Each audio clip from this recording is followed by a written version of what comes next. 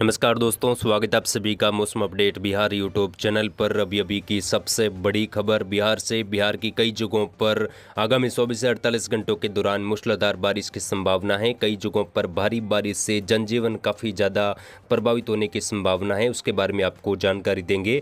आने वाले चौबीस से अड़तालीस घंटों के दौरान बिहार के कई जगहों पर रेड अलर्ट भी जारी कर दिया है। कोसी नदी समेत गंगा नदी उफान पर हैं। कई जगहों पर स्कूल, कॉलेज, हॉस्पिटल भी बंद किए गए हैं, क्योंकि लगातार मूसलाधार बारिश से जनजीवन काफ़ी जगहों पर प्रभावित हुआ है। कई जगहों पर बाढ़ जैसे हालात बन चुके हैं और आगामी चौबीस से अड़तालीस घंटों के दौरान भी बिहार में कई जगहों पर भारी तबाही मच सकती है। उसके बारे में भी आपको जानकारी देंगे। नेपाल से बिहार के क्षेत्रों में पानी छोड़ा जा रहा है। नेपाल में भारी बारिश से तबाही मच चुकी है। आने वाले चौबीस से अड़तालीस घंटों के दौरान बिहार के क्षेत्रों पर बाढ़ जैसे हालात बन सकते हैं। उसके बारे में भी आपको जानकारी दी जाएगी इस वीडियो में। तो वीडियो को पूरा ज़रूर देखें ताकि आपको पूरी जानकारी समझ में आए। चैनल पर नई हो तो चैनल को भी सब्सक्राइब ज़रूर करें ताकि बिहार मौसम की सटीक जानकारी समय पर मिलती रहे। किसान भाइयों, आगामी 24 घंटों की अगर हम स्थिति देखें, सबसे पहले अगर हम पिछले 24 घंटों की गतिविधियाँ देखें तो बिहार के दक्षिणी मध्य और बिहार के उत्तर पश्चिमी क्षेत्रों के आसपास मूसलाधार बारिश का दौर देखने को मिला कई जगहों पर और